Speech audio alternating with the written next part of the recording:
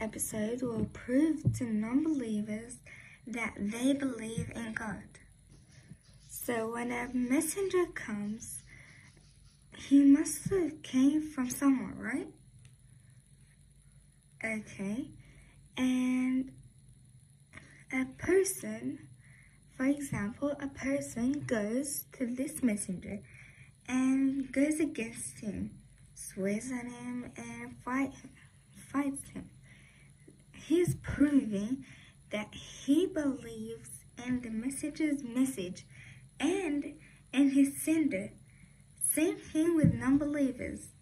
If a message is sent to them from God, they go against him and and always swear on him and fight him.